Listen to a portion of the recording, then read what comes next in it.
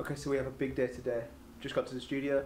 We are driving to Alex James's big festival. We're on stage at four o'clock, and then we get in the car and we drive right up to Ripon, where we have a sold-out show. It's going to be a big old day.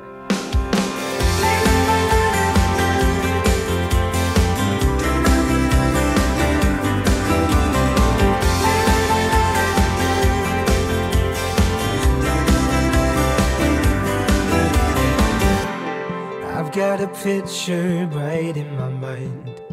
I can't wait to bring to life. Yes, we're playing the bandstand stage. For a while. Friends are lighting up my day in such a perfect way, making the